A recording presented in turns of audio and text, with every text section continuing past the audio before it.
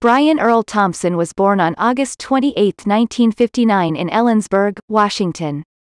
Raised on the Columbia River in Longview, he learned the value of academics and athletics, as the son of two teachers and the second of six siblings. His interest in acting was first sparked during his senior year of high school with the role of the Russian ballet instructor, Boris Kolenkhov, in the comedy, You Can't Take It With You.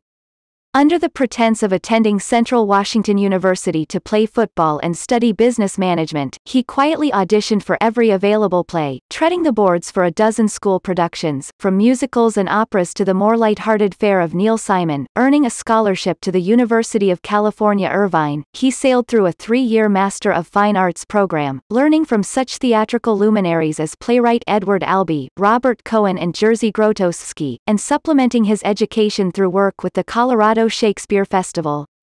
He began to audition theatrically before graduation, and by that time, he had his SAG card, an agent and five professional credits, including James Cameron's The Terminator, 1984, where he and Bill Paxton's clothes were forcibly removed by a naked Arnold Schwarzenegger. About a year after Arnold took Brian's clothes, Sylvester Stallone wanted a hack at Brian as well. After seven auditions and a screen test, Brian earned the right to get impaled on a meat hook, then burned alive, Stallone's Cobra 1986. This began a string of credits that has left Thompson in and around some of Hollywood's biggest and most projects. Brian has tackled two superhero roles as well. First, Conan the Librarian 1999, starring Red in the title role, a PBS special to encourage kids to read. He also earned critical acclaim playing the larger-than-life role of Hercules in Jason and the Argonauts 2000. Probably the first role that demanded use of his classical background as well as his 6 feet 3 inches muscled frame.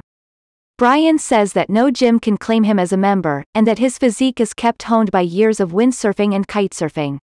Taking a curiously musical approach to his craft, the actor continually seeks fresh rhythms for each new role. Brian verifies his well-rounded nature with a resume that lists such special skills as martial arts, black belt hapkido, piano and sushi rolling. He currently resides at home with his son Jordan and daughter Daphne.